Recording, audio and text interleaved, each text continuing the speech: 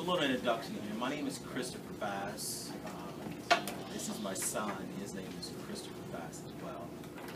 And I am uh, one of co-founders of a company called Montabass Academy.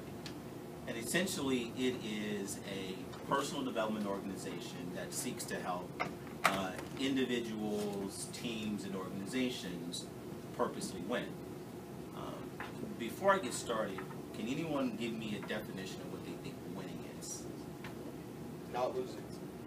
That's a negative definition, but that's a definition. Let's let's think of a positive definition, right? What uh, is winning? I mean, you guys know basketball, right? So what's winning? Go ahead. Achieving something, like, Achieving something. yeah, it's Okay. simple. Okay. Um, does winning always imply uh, competition?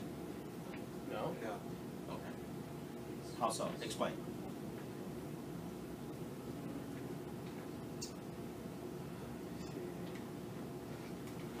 I'm not sure. You're not sure. Okay. So at Montabass Academy, we define winning in three ways, right? Uh, winning is achieving, as you said, uh, but it's a premeditative goal with the object of winning, right, against a competitor. Now, a competitor doesn't necessarily always mean someone else.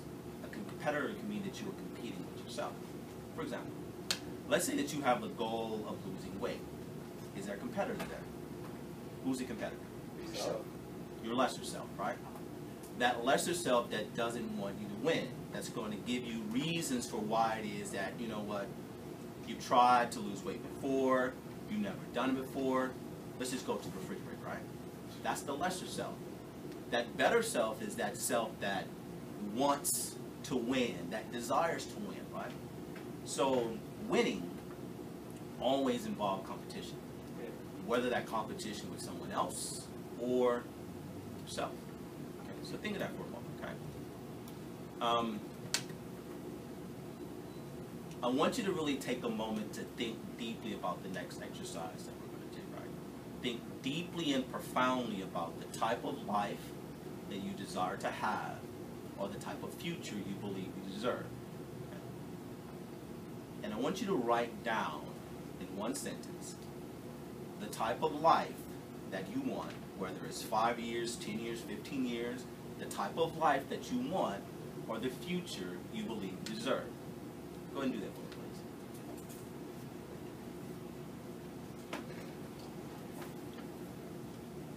Now, I want you to do yourself a favor here? And I want you to be as specific and clear as you can.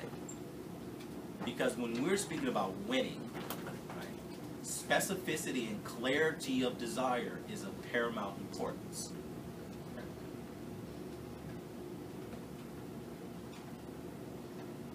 Now, with that image firmly in your mind, right, I next would like for you to answer the question of how. How do you think, or how do you believe you're going to acquire or to achieve that life or that future? Do you believe that it's going to come naturally? Or do you believe that some work will be required to get it? Okay. So next, write down how you believe that you will achieve that. Now, I don't want you to necessarily think about the individual steps that you will take in order to achieve that future, just the broad method, whether it will come naturally or whether you believe that some work will be required to do that. Okay?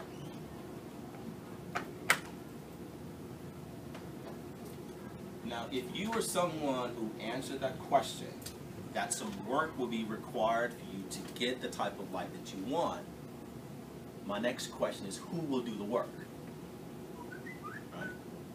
Who will do the work that's going to allow for you to have the future that you desire to have, right? the life that you believe that you deserve. Now, you might think of those important people in your lives and think in terms of what roles or responsibility, if any, they have in helping you acquire that life. Whether it's your parents, your coaches, your teachers, your siblings, your friends, your boyfriend or girlfriends.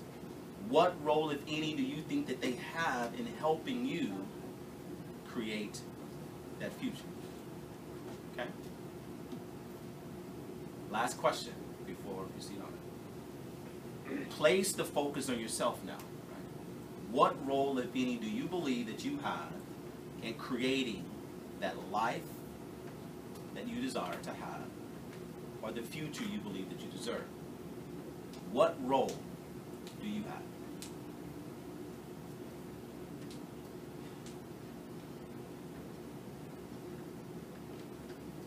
Now, you guys may be wondering why the questions, right? Is this uh, is this school here? Uh, but essentially, uh, the questions are geared to help prime your mind for uh, the speech that uh, I will do today. And Reese, Max, and Maddie, please come to the front office. You are going home. Reese, Max, and Maddie, please come to the front office. You are going home. And there is a saying, you guys might be too young, uh, but some of the older gentlemen in the room might have heard this saying before, but there's a saying that really will help us to begin uh, our conversation today. If you keep doing what you've always done, you will keep getting what you've always gotten. If you want to change the outcome, you change your responses. You change what you do. Let me repeat that, right? You went through a quick exercise of the type of life that you want, the life that you believe you deserve. However it is that you're going about that today, if you're not do, if you're not getting the types of results that you believe that you should be having, you might want to look at what you're doing. Because I think it was Einstein that said that insanity is doing the same thing over and over again but expecting results. Has anyone ever heard that before? Okay. So if you want something differently in your life, right, you're going to have to do some things a little bit differently. So, in the spirit of change, I really want to explore the concept of personal responsibility. And I want to try to achieve two objectives with this speech today. Uh, I want you guys to begin to think a little differently about what it means to take 100% responsibility for creating the type of life that you want, for being the person that you aspire to be, to do the things that you long to do. That's my first objective. Think a little bit differently about what personal responsibility means. At the same time, I- want you guys to begin to develop some basic skills for becoming more responsible in life. Now, to get started, if you answered the how question by stating that you believe that what you want or the future that you desire will come naturally, let me tell you now that you're going to be disappointed in what you are going to learn today. Because in Montabass Academy, we operate from the position that a meaningful, prosperous, successful life don't just happen. It happens because people are willing to be committed to the process to do the work necessary to make it happen. Does that make sense? Okay. Now, if you also answer the question of how, by there will be some work that will get done, you might be equally disappointed.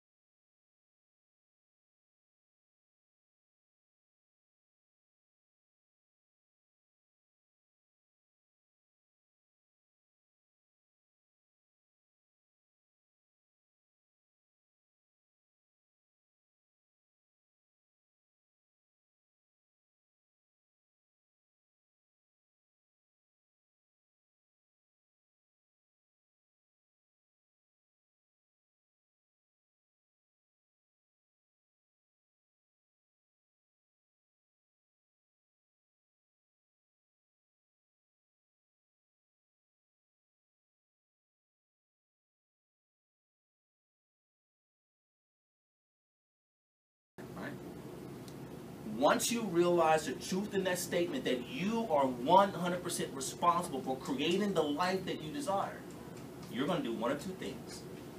You're either going to begin to act today to bring about that life that you desire, if it's important enough, or you're going to resign to admit that what you want is not important enough to compel you to act. Does that make sense? Because if you're like most folks, once you realize that to get what you want out of life requires your responsibility, 100%, you'll begin to do what people normally do when they accept responsibility in their life. They begin to take actions today. Not tomorrow, but today. Because the consequence of acting today is that you will begin to affirmatively move in the direction of achieving your heart's desire. And once in action mode, right, there is a greater probability, not a guarantee, but a greater probability that you will achieve that which you desire to achieve. Does that make sense? Have I, have I lost anybody yet? Right. Okay. Now, so just think about this, right? With this firmly in mind, right, that you are 100% responsible for having the type of life that you believe that you deserve, for being the person you aspire to be, for doing the things that you long to do. You and only you are 100% responsible for that. Nobody else is. Right? Once you realize that, the question now becomes, how do I do it? At, um, at, at the company Montabass Academy, we do a lot of research on winning and its cousins achieving its success. And, and there's a book that we came across doing our research. It's um, called The Success Principle by an author named Jack Canfield, right?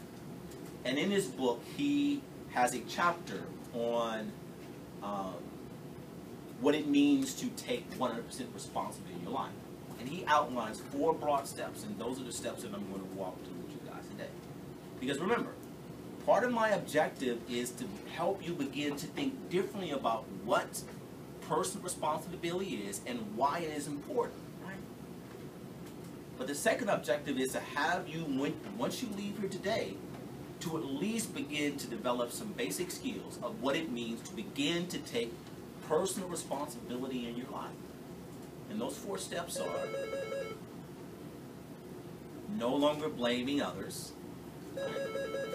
no longer making excuses for what you are doing or not doing, no longer complaining about the things in which you have no ability to change, and start taking purposeful action today to bring it about. okay. Now, I'm going to begin my with the first point of, you know, blaming others. And can anyone answer the question for me of why do we blame others for the lacks in our lives, whether it's what we don't have, where we're not, or who we're not? Why do we blame others for where we are today? Does anyone have an answer to that question? Yes. We don't want to accept responsibility. We don't want to accept responsibility. Not so nuts. We don't want to accept responsibility, right? Because when why should we blame others? You know, and I understand that, you know, you guys are probably, you know, teenagers. And it is hard to accept right now uh, that, you know, you cannot go back and change your past, right? And you may not have control over every aspect of your life today. But think about this, right? When we blame others for the circumstances, conditions, quality, and direction of our lives, what are we doing? We're ultimately taking away our own personal power and giving the power to someone else. That person to create for us, to provide for us, that which we say that we desire. Does that make sense? Uh, because understand this, right? Whenever you give someone else that power, and what if that person fell short on delivering upon your expectation? Remember, people generally fall short. They don't necessarily, some people may have the best intentions, but people generally fall short on delivering upon the expectation or the desires that we have. We typically will get discouraged, we will get frustrated, and we will become resentful that the person failed to do the things which we invested power in them to do. Because remember, when we're blaming somebody else, essentially we're taking away our own power and giving that to another person. To say that I am investing the power in you to provide for me the type of life that I say that I want, the future that I desire. Make sense?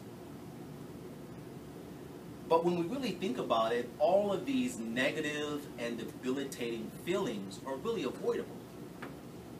Because why should we make it someone else's responsibility to bring about the type of life that we want? And as I was putting together my speech uh, together a couple of days ago, I was thinking about that question, right? Why should we make it someone else's responsibility? And there's only one plausible answer that I can come up with, right? Because we either don't believe in ourselves or our capacity to make it happen. Right? And if that is the case, then we're not talking about a responsibility problem, we're talking about a belief problem.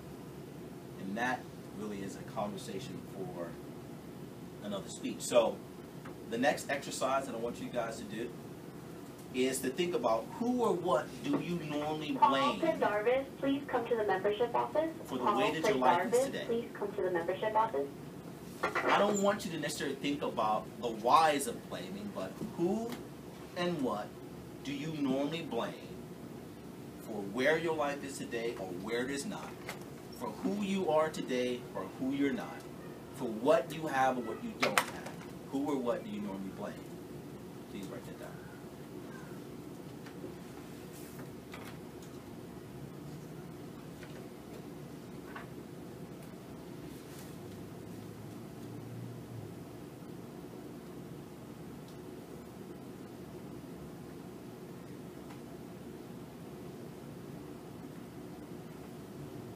Now, this is the first step, guys, in becoming or taking 100% responsibility for creating the type of life that you want. Okay? That's the first step because once you begin to take this first step, you take the focus off of someone else and place that focus solely on yourself where it should be. But now, if you tend to find all kind of reasons for why you can't and while you haven't done what you know you need to do, you still will be failing to take 100% responsibility for bringing about the type of life that you desire. Right? You know, I read somewhere the other day that making excuses is a way of getting someone to cut us some slack. Right? To overlook a certain type of behavior that is inappropriate in that particular situation. Think about this now. If that's the case, why should anyone, including ourselves, give us a pass for failing to do the things that we know that we are supposed to do to bring about that which we say that we want, that which we say that we desire, right? Because if you're unwilling to do the hard and necessary work that is required to bring about your desires, then why not simply admit that the thing which you say you desire the most is not important enough that will compel you to act? So you so remember when you stop blaming others, right? You begin to place that focus on yourself. But if you make excuses, right, or as some people will call justifications or reasons why you're not doing what you know you need to do today, right? If you're making those excuses for yourself, then you still are not moving in a direction of becoming 100% responsible for creating the type of life that you desire. Because understand this, guys. When you want something badly enough, right, you will find a way to get it. And if you don't know how, you will find a way to learn the method, how to do it, and then you will execute on it. Because the reason why I wanted in the first exercise for you to really think specifically about the type of life that you desire, the future that you want, because this should be your heart's desire, right? In 10 years, right? Uh, I want to be a millionaire. Or in 25 years, I want to be in the NBA, right? Or maybe in 30 years, I want to run for president of the United States, right? Whatever your desire is, you have to want it badly enough to where you're going to be willing to accept responsibility for bringing that about, but as well as do the work necessary to achieve it. Does that make sense? Hopefully, I'm not speaking too fast. I please come to the front office. You're going home. Marique, come to the front office. You're going home. Marique. Because remember, if you keep finding reasons or excuses for why you haven't done what you know you need to do today, you will never have what you want. You'll never achieve the desire. So my next exercise, I want you guys to think of the excuses that you normally give yourself, whether you verbalize or not. Some of the mental excuses that you give yourself for why it is that you're not doing what you know you need to do, right? My son, uh, he wants to play basketball, right? And we're, we're training. And he wants to be a point guard. He likes Chris Paul and uh, Steph Curry, right? So he knows that, you know, after school, we go to the gym and we practice. We practice 30 minutes on ball handling. We practice on passing. We practice on, dribbling. So he knows that there are certain things that he will need to do in order to achieve his dream of getting in the NBA, right? But if he says, you know what, I'm tired today, that's an excuse, right? Or you know what, I want to, you know, watch TV, or I want to go hang out with my friends, or I don't feel like today, right? Those are excuses. And if you keep making those excuses, you're going to find out that in five years, you still have not achieved what it is that you say you wanted to achieve. So, the next exercise is write down some of the excuses that you typically give yourself for why you're not doing what you know you need to do. And trust me, guys, if you're not doing this exercise, you should really do this exercise because once you leave here today, you should begin to already be thinking differently about personal responsibility. But now you're going to have some basic skills of how to now begin to take more responsibility in your life. All right. Now, step one, of course, was no longer blaming others. Step two was stop making excuses. And my step three is stop complaining. And that's very hard for folks to do. Because understand this complaining is generally, generally defined in the dictionary as expressing dissatisfaction or annoyance with a state of affairs or an event. And many people would agree to this statement that complaining is a great way of venting out frustrations. And I would agree. But complaining can also exacerbate an already bad or tense situation. Particularly if we're complaining to someone that has no ability or no power to bring about changes to the thing to which we are complaining about.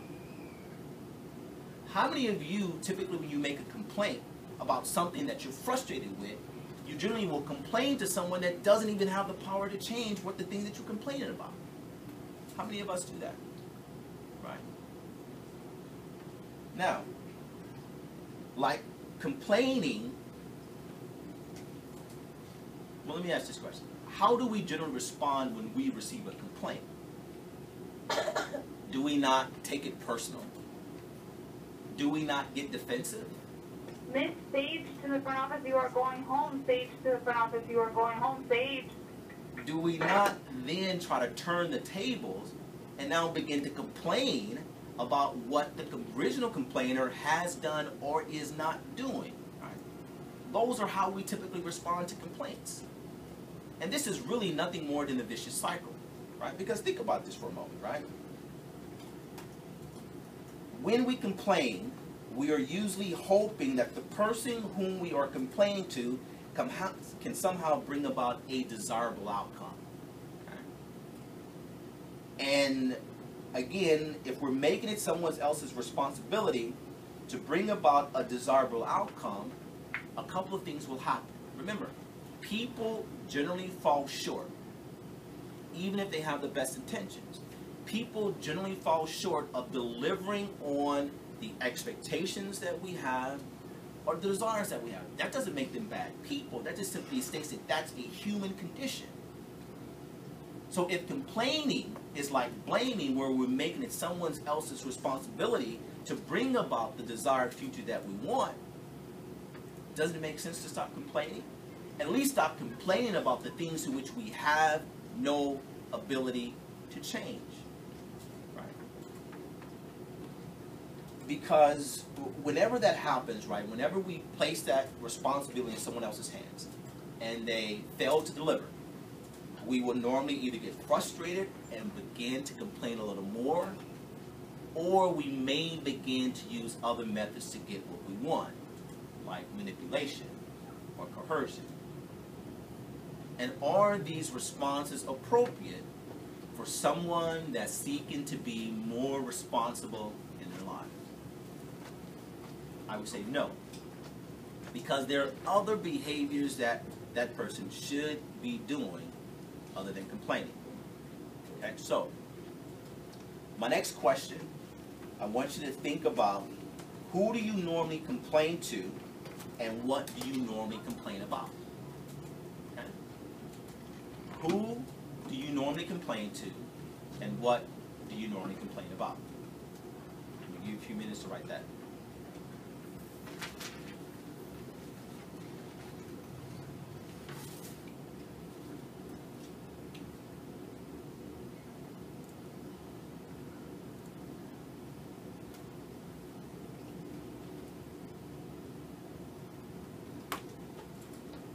No, guys, uh, sorry, ladies, I don't mean to use the term guys. It's just that's you know, common. Um, assuming 100% responsibility in your life is Christopher hard. Mejia to the front office, you are going home. Christopher Mejia to the front office, you are going home. Christopher Mejia. It is very difficult. That's the reason why most people, well, I won't say most people, it's probably an overstatement, but that's, there's a large percentage of people in our society today that refuse to take responsibility because of the work that involves in that. But think about the tremendous benefits that you will get from that, right? Because whenever uh, you take 100% responsibility for where your life is today or where it is not, for what you have today or what you don't have, right? For who you are today or who you are not. It gives you a sense of empowerment because you are the one that's in the driver's seat that will determine whether or not if you will achieve what it is that you desire to achieve. If you want to win in your quest to be better, have better, do better. Make sense? Okay. Because remember, all of this starts with no longer blaming others, no longer making excuses for yourself, no longer complaining about the things to which you have no power to change. But it also involves the fourth step of that equation, guys. Meaning involves taking purposeful actions to bring about the type of life that you desire. Okay? Now, I referenced earlier the author, Jack Canfield, in his book called The Success Principles. And if there are any readers, I would really recommend that you, you get this book. And let me just give you guys a quick overview of my life, right? Um, I'm 45 years old, but I uh, came from a very dysfunctional family. Uh, there were a lot of drugs, there was a lot of abuse. Uh, eventually it got to the point to where I left home at the age of 13. And I lived on the streets for two and a half years. So you can imagine that at 13, living on the streets, I probably got into a lot of trouble, right? Trouble so much to where at the age of 19, I found myself in prison. Okay? Um, the first three to four years of that incarceration was solitary confinement. Because the mentality that I had while I was on the streets, I brought it with me to prison. And I was actually considered a a risk to the general population. So think about that, right? I'm in prison, and they say that I am a menace to the general population, so they put me in solitary confinement for three and a half to. And this was the lowest point in my life. but it was also an opportunity for me to begin to do some things differently. I began to read a lot more. I began to think a lot more. I began to make better decisions, which led to better actions. Now, in total, I spent 10 years in prison. Eventually, I got out. Well, while I was in prison, I got my GED. I got an associate's degree. I got out. I got a bachelor's degree, and today I have an, I have an MBA. I've started my own companies. I've been in leadership positions of a number of companies. Right? I own my own home out in Castell. I have a son. I'm married. Right? But I still have challenges. So I'm telling you that story, right? Because until you begin to take responsibility for your life, the way that your life is now, your life does not have to end up that way. I could have decided to take the same road that the guys that I was having conversation with in prison, right? And eventually I would have gotten out, but I would have found myself right back in prison being what they call a statistic, right? But I'm not, right? Now, um, I may not be as successful, right, as someone that didn't go to prison, but I can tell you what, based upon the definition of what it means to be successful from where I started to where I am today, I would say that I am winning that battle, right? So think about this for a moment, right? And, and I mention that because uh, books gave me an opportunity to go beyond my limited environment and my limited imagination to now think of some possibilities. And the book that I'm referring to you, Jack Canfield's uh, Principles of Success, has 66 principles in there that if you can master that book, you will become much better than what you are today. And I'll be wrapping up in a moment. Sorry. Um, but in his book, he states that we either allow, we either create or allow everything that happens to us. Everything. Right? The things that we get or we fail to get in life, the things that happen to us or fail to happen to us are because we either took some action that led to a situation or failed to take action that prevented that situation from happening. Make sense? Okay.